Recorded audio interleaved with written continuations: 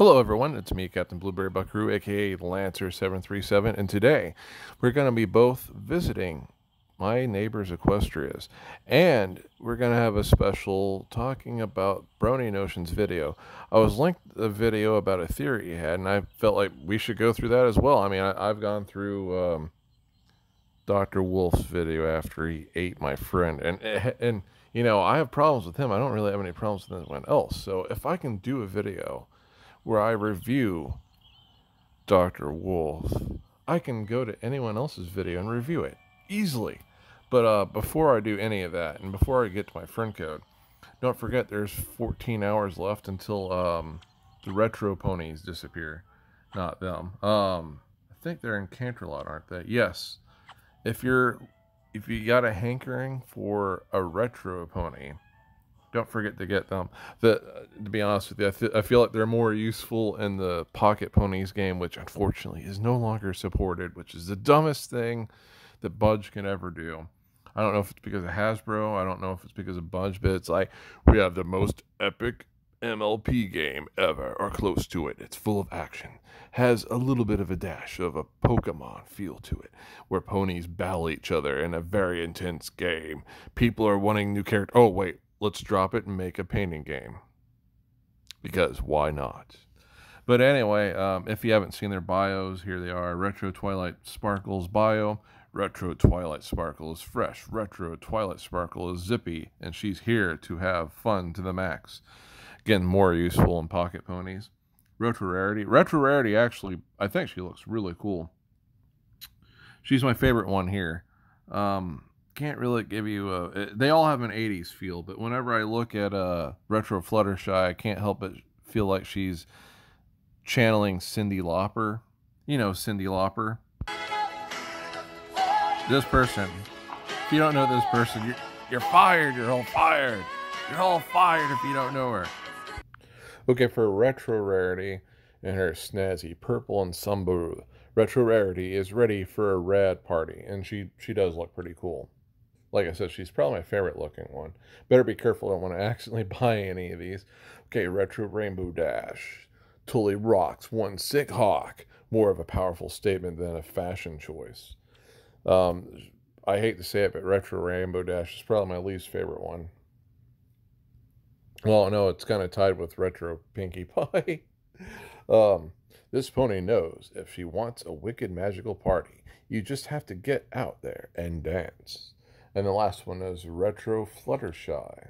She's like totally cool with animals and other ponies and everything else for sure. For sure. Okay, so um let's see. Oh, and then there's wait. Only it's only for Retro Pinkie Pie. That's very strange. I wonder if that's a glitch or something. Anyway, uh, let's get to it. Let's visit some uh, some of my neighbors. And don't forget to add me. My friend code is in the top left hand corner. Now, here we go. May or may not malfunction. Don't know. I've already pressed the button, so I'm, I'm already concerned that this is going to be a long load time. Long load time. Okay. But I, I hope you guys enjoyed my last video with the sea ponies and, and you know, uh, mermares. That is a really cool subgroup of ponies I really like, and I would just love the heck out of being able to um, customize my own Equestria. I'm, I'm, probably saying it wrong, but it is a pretty weird name, you have to admit. Um, I just think it'd be pretty cool, you know. I would love um, all the different things that you could do in that place and all the different characters. I just I want to build something new in this game. I don't want to tear stuff down though, you know. But getting a completely new map, that would be really fun and designing it. I would love it. Okay, I think we left off right here. We'll find out. We'll see if the gift button is... Nope. Here we go. It's very compacted. And again, I'm pretty sure uh, they got rid of the darkness to get to the objectives for the story mode, which I don't blame them. I did the exact same thing. Who's that? Oh, that's Rainbow Dash's. Um, darn it, but Commander Hurricane. And then there be Applejack as the cowardly lion next to Scootaloo and uh, a good Sombra. At least I hope he's good. You never know. Never know.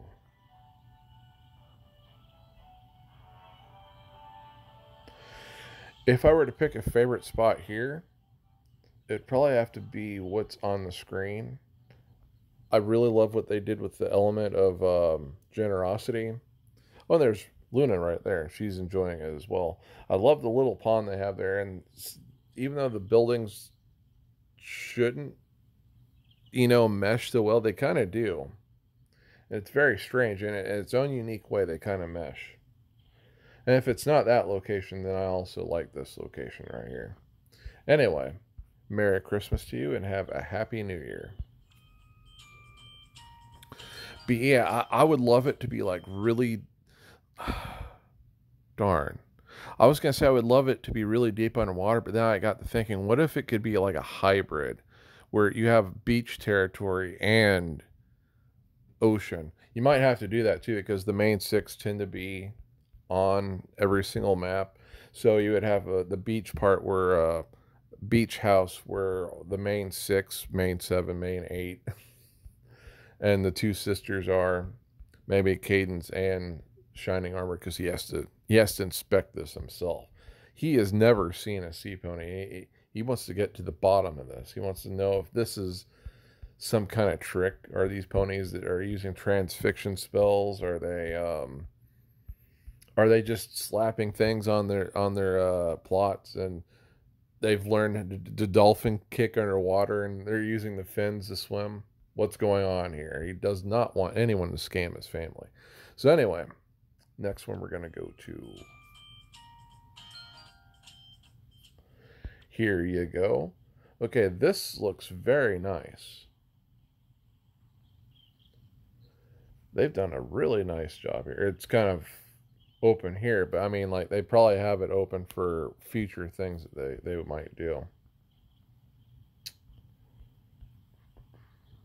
This looks very cool. I might pick this as my favorite spot.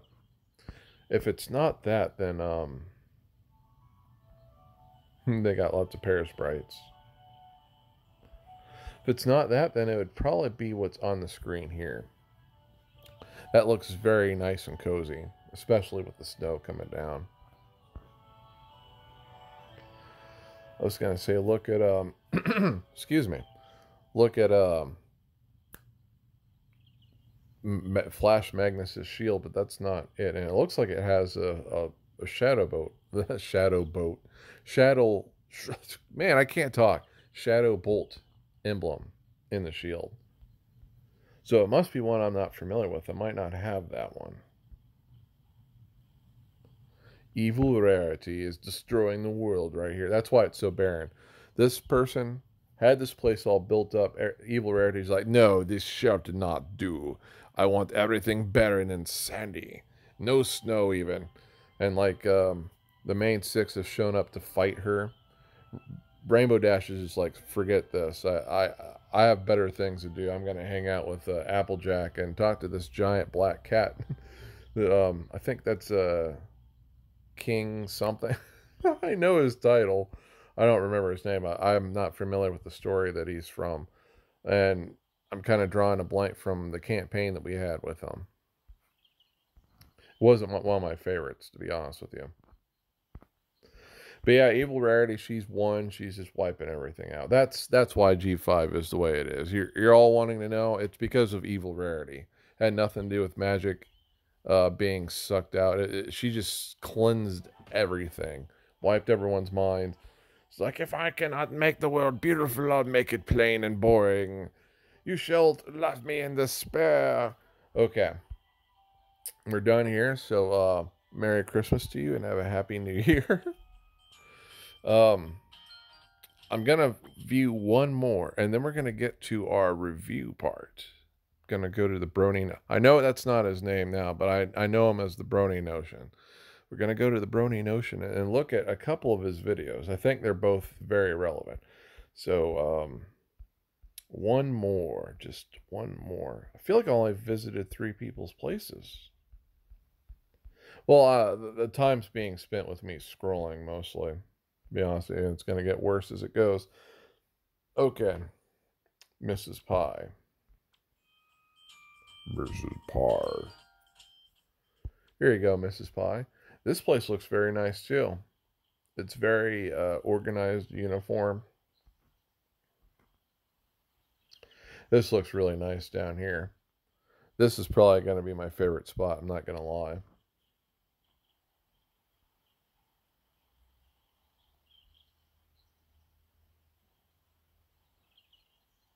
Yeah, it's very nicely organized. It looks like they tried to keep it as symmetrical as they possibly could. As I um, can't stress that, as they possibly could. And it's cool they have uh, Trixie statue right next to her stage. But yeah, this is my favorite place. Wonder why that elf pony is nosing about in that area. Because he's evil. Don't let the funny ears fool you. He is evil. Evil. Okay, you know what time it is now. Here we go. Hey, Brony Notion. Hey, how's it going, man? Haven't seen. Whoa, man, I got a theory for you. Are you freaking King Sombra? You kind of look like him. What the heck's going on here? Well, anyway, I've come to bargain and wreck your theories, Brony Notion. Oh, ah!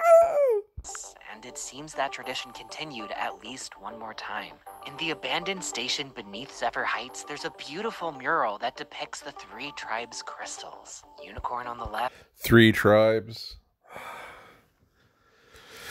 Okay, we've gone over this before because just like uh, Dr. Wolf, everyone forgets about the bat ponies and the changelings and the sea ponies and the mer ponies and um, changelings and alicorns too.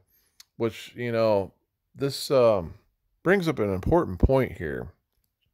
And this is what I've been saying. I don't, I really don't think this is the G4 universe. If it, if it is, it's one of the, the, the branching off ones like Pony Life. But it, it, this universe has so many different things in it. I, I legitimately don't think this is the same universe where Twilight, at least primary G4 uh, Twilight existed. Pegasus on the right and what used to be Earth Pony in the middle. Above them, in beaming rays of glory, is Twilight Sparkle's cutie mark, complete with the surrounding stars. Take it looks very similar, but that might not necessarily be hers. I mean, granted, I, will give you that it probably is, but there is a couple differences. Some of the colors within the emblem itself are not right. Mainly the little stars. They shouldn't be reddish orange. But yeah, it, it probably is hers, but just take that in mind. This isn't exactly correctly accurate with Twilight's cutie mark. For all we know, it could be a descendant or alternate universe versions Twilight's. Good luck, because when it comes to connecting future Equestria to the past we know, this is all there is. So let's start at the beginning. What's happening here? At the very least, this mural connects the crystals to Twilight Sparkle. She has something to do with them. I... Again, uh, this might not necessarily be Twilight's. It probably is, but take it a step further and say this shows Twilight creating the crystals. The way I see it, the crystals are moving away from the common point of origin of Twilight's cutie mark, communicating that they came from her. This seems to be the most straightforward interpretation of the mural, so let's build off of that. The first question that comes to mind is, why would Twilight create the crystals? This she might not have. It, what could have happened is uh, disciples that were trying to uh, create an artifact based off things they had seen and stories and legends may have created four different artifacts, maybe even more. And one of them is the magic of i mean the element of magic which you know the element of magic its symbol does share the same symbol as or very similar similar to the twilight sparkles. It does not 100% have to be twilights though. Just take that in mind too and um let's continue on This is a rather surprising development. I mean, one of the biggest lessons she learned throughout the years is that artifacts like the elements of harmony aren't what's important. No, the magic of friendship is more than enough. If anything, the focus on artifacts was a crutch, a distraction from the magic of friendship. So why would she just turn around and make more distractions? I, I have to somewhat disagree because uh, without the tree of harmony, which the elements came from, and they do have physical manifestations, um, the the magic of friendship would not exist at all. I know it's a it's a little bit strange to think about. Now the spirit of friendship that that's a bit of a different thing, and that's not like a literal thing. The, the spirit of friendship is key to actually manipulating the magic of friendship. That in itself would exist. That's why anyone can can preach that in real life and in the series. But um it it, it the actual magic it, it, does require the elements. The it, it, it it's very strange. It's almost like uh when uh, the the orbs slash crystals were removed from the tree, which they put back eventually, um, it, it's very much like they they transfigured, kind of like um, from to use an analogy, the the darkness from the Avengers series, one of the Reality Stones. It it was a physical manifestation, and then it became energy that came, you know, infuse itself into Jane Foster's body. Um, I, it, it's like uh, when the actual bearers that were worthy of the elements were in contact with those elements, it was like it, they imbued themselves with them. So that's not exactly true when it comes to elements. Um, and don't forget, there's other very powerful artifacts, including the Dark Alicorn amulet, which is very its histories of i mean besides the fact hardly anyone ever touches anything about it. But in universe there's so much mystery behind it. There had I, I wrote about this too that there must have been a gigantic war between different alicorns. Some good some bad. And in uh, going into my own theory for a second we're we're gonna we'll continue on in a second, but we're going to go into my own theory in a second. Uh, this is old one. I don't think I've mentioned this on this channel, but I believe that all alicorns are susceptible to being taken over by the nightmares, and a lot of them did. They caved to their emotions. They became nightmare variants of themselves. It started a huge war, a war that was so violent and powerful that it even disrupted the flow of uh, the sun and moon being able to move normally on their own. And in, in that war, um, Luna and Celestia's parents took them away and, and let them be raised on their own because it's it's very clear when you're reading their journal they were completely raised on their own. They were raised by uh, closest parent they have is Star Swirl and he was teaching them unicorn magic before he was able to teach them alicorn magic. If there are any alicorns left, that they're very much like the Rangers of the North in Lord of the Rings, where their society is completely gone. You have little packets of uh, groups, very very small groups. If even that, it would be more like you'll might occasionally run into a single alicorn deep in some magical forest area that hasn't been explored in a really long time but it, their society pretty much was destroyed when they were fighting each other. And this technically would play into what the Pony of Shadows is. He's an ultimate embodiment of those things because emotions play an extremely powerful aspect of this series. And he does travel the multiverse. I mean, there's at least two different versions of him that travel the multiverse, purposely corrupting the most powerful entities and wrecking those worlds and the universes. It's very possible that e- either it was the one that we saw in the primary G4 universe, just it's just you know not enough was flushed out about him, so we don't know exactly how long and what his motives were, excluding when he was part of Stygian um, may have been that he invaded much, much earlier in the history of Equestria. corrupted the alicorns, and so you had so many different nightmare alicorns until a lot of the nightmares were banished to the moon themselves. And uh, he almost destroyed their world, but in that battle, he was dispelled.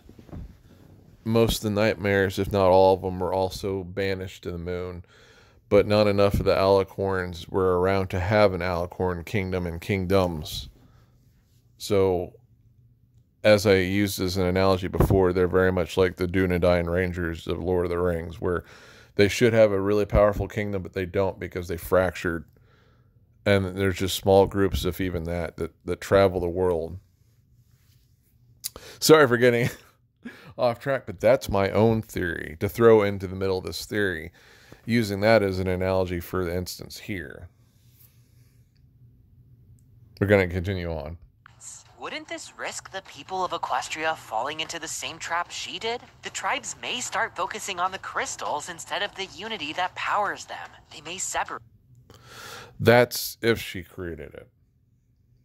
All moving closer to their respective crystals, forming their own societies around them, like what we see with the Pegasi and their ruler's crown. And when the crystal's charges inevitably fade, they blame it on each other and keep their distance. This very well may be what happened, and it all be because they were too focused on physical objects. Twilight of all ponies must have seen this coming and considered that risk. And yet, she decided to do it anyway. Which makes you wonder what else she factored into the decision to make the crystals.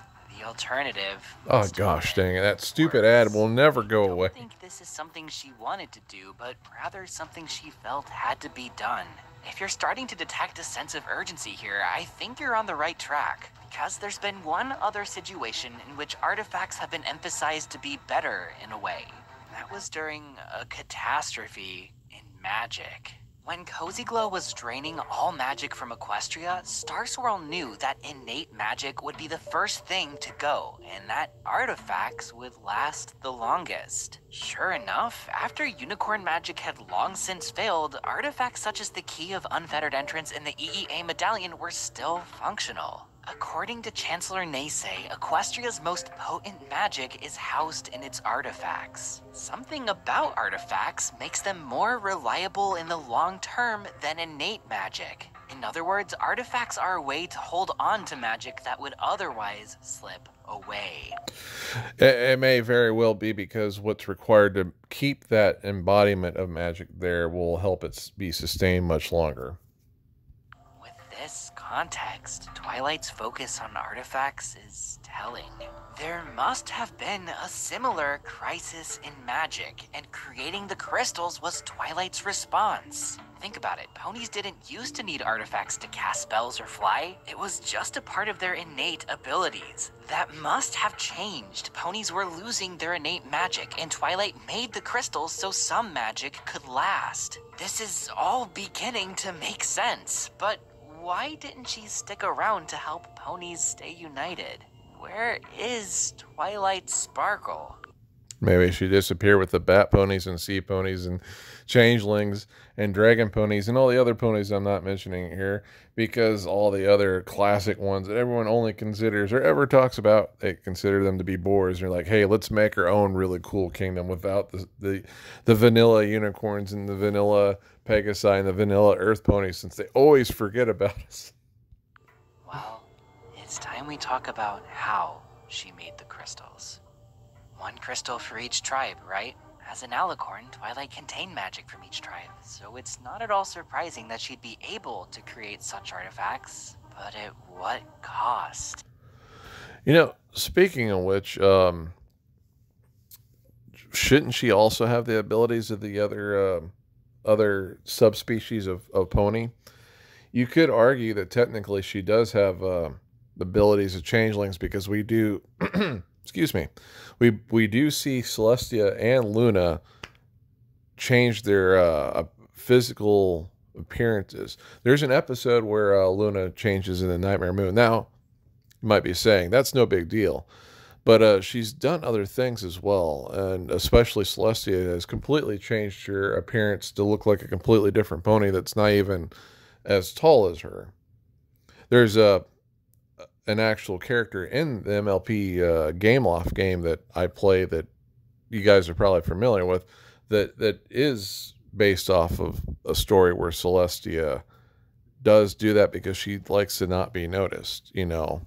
She likes to not have everyone always at her beck and whim, and she would just like to enjoy things by herself. Anyway, going back to this. The crystals can power up every pony, so what if Twilight had to sacrifice everything? This is where the evidence points. Think about how the creation of the crystals is depicted. The reason Twilight herself isn't on the mural. At first, I thought her cutie mark was a symbolic representation of her, but then it hit me. Mother of Celestia, this is what the event literally looked like. Twilight's cutie mark was in the sky, and we have seen this before when she became an alicorn. It was a moment of intense change, an enormous magical transformation, and the mural shows the same thing happening, but in reverse. Twilight Sparkle unbecame an alicorn. That's the missing piece in all of this. In an epic display of selflessness, she separated her alicorn magic back into its Earth Pony, Pegasus, and Unicorn components, storing them in each of the crystals. Kept safe in the artifacts, Twilight's magic would be able to survive the crisis, and ponies could draw upon it for years to come. That's what the mural depicts. Twilight sacrificing her alicorn hood so her people could still have magic. A decision made out of duty and at great cost. So certain are you? You must unlearn what you have learned. As I stated before, this may not even be the G4 universe. What this could be depicting is the elements of magic are the main source for all the magical abilities of the other tribes. And granted, there, there could there could have been at one time a, bigger picture here that would depict all the other ponies, but I, I'm just you know I'm throwing out a hail mary there because it, it just feels strange that all the other ones are neglected. But it doesn't mean that necessarily Twilight had to unmake herself and give all the magic back. Here's the thing, though. Another reason and I think I've said this before, but another reason I just don't feel like this is the same universe is there's zero mention of Luna and Celestia. And the sun and moon are moving on their own. So there's something that I just don't think this is the same universe. And I have a feeling that the creation of all the different magics and the relation to all the characters are, are going to be very different. Um, this may be significant for the multiverse that the elements of magic, this, the actual symbol for the element of magic, is extremely similar to what it is in all the G4 ones. But again, as it's shown, the colors are a bit different. So I, I can't say that this is specifically, you know, Twilight's. But uh, again, uh, people will disagree with me, but this I'm very certain that this is at the very least is not the primary G4 universe. There's just too many differences and inconsist- inconsistencies. Um, and again, someone someone can fact check me on this, but I'm very certain that Luna and Celestia, even though they gave up their titles, they're still required for moving the sun and moon. And I would I would think that you know different pony nations would still be uh, aware of that and can even contact them if they felt like it, or at least see where the magic is coming from to move the sun and moon. And, and the reason I'm saying that's significant is, is, if nothing like that is happening here, then that's one of the reasons why I'm very certain this is not the same universe. As we go along, you'll I'll point out another thing, as usual. Just like that, her rule ended the same way it began, with a sparkle in the twilight sky, ultimately fulfilling her destiny. Without the alicorn magic that increased her lifespan, Twilight lived out the rest. Also point out uh, being an alicorn does not necessarily mean that uh, you have a long lifespan. As stated before in um, the Two Sisters Journal, it's a very good book if you don't have it. Um, what keeps them alive so long is constantly moving the sun and moon. As long as Luna is moving the moon, not only is she staying really young, but she keeps on becoming slightly more powerful and more powerful and more powerful. And the same for Celestia, which brings us brings up another thing. Because again, it shows anyone trying to move something like those that are not supposed to, it's constantly draining them. This would mean that all the, the time that Celestia was forced to move the sun and moon, she was both losing and gaining magic at the same time because she was never destined, nor are her magics tuned to moving the moon. Oh, and an interesting fact, uh, fact, not fact, fact, uh, Princess Luna can also move stars in one alternate universe. Don't know if she can in the primary G4 universe, but she can move that. But at the same time, don't know if that's draining her magic or not when she attempts to do that. But she could end up doing something crazy like this. Hey Luna, we detected an enemy. Could you help us out? It's just like an evil red dragon that's destroying a city. He says he wants pillows or something. Wait, what are you doing? Wow, are you summoning a star? What, what, are you summoning a star for? Oh my gosh, a planet blew up, Luna. What are you doing? The star's getting closer. we don't need your help, Luna. No, no, stop summoning stars, please. Please, no. The solar system is being destroyed. This because of one dragon. No, we'll hand it ourselves. Please, no, Luna. No. What are you doing? It's gonna hit the sun. What are you doing? It was just a dragon. It was just a dragon, Luna. It was just a dragon. It was just a dragon. Oh, my eyes. And there's the Earth because of one dragon, because Luna decided to summon a star to, um, or constant comet, a very uh, far out comet just to destroy one dragon. Good job. We're all doomed. Game over but yeah, um, with without that those specific purposes, uh, other alicorns, I assume they might live a little bit longer, but there's nothing to say that any other alicorn would live for eternity or have an extremely long life. This is something specific to Luna and uh, Celestia. Technically, you could also say, to a degree, things like the pony of shadows, but he, his nature is extremely different. But I mean, broadly, you could consider him an alicorn, broadly. Now, let's move on. Natural days as a mortal. The reason she's not around today. But the mural in the station shows us that Twilight's sacrifice was widely recognized and honored. Of course, most of Equestria would eventually forget her legacy, but the few that remembered passed it down from generation to generation hopes that one day Ponykind would be able to restore Twilight's vision of unity. And that's exactly what Argyle inspired in Sunny Starscout. Though it's quite the dramatic story, I think it lines up best with the information we know. Artifacts are most useful during magic emergencies. Ponies now need artifacts. Okay, I think he's done with this. Twilight is somehow connected to those artifacts. I do not have very much time left with this uh, recorder, so we're going to move on here. I, I, feel like this was very uh, relevant to what we were talking about before. Hero, this video. Equestria honored her go. with this mural depicting her sacrifice. I did a whole video about what this mural means and what exactly Twilight did to save Equestria. But the question remains, what did Twilight save Equestria from? Well, I, I, I don't think it's the same universe, but if e- even with Twilight or without, very well could have been they're trying to save them from the shadows, the nightmares.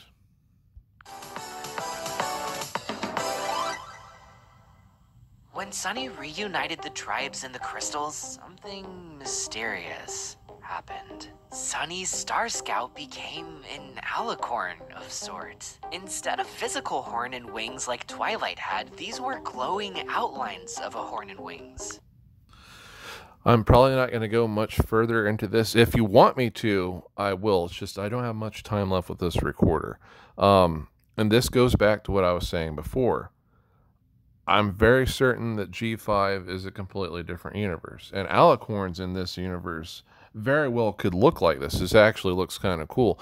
And you know what? It's very reminiscent to some of the incarnations that we've seen of alicorns in uh, G4 Equestria Girls. Because if you remember in a couple stories, when you had human alicorns, it was more of an energy form of some of their attributes as opposed to um, physical, especially with Daydream Shimmer.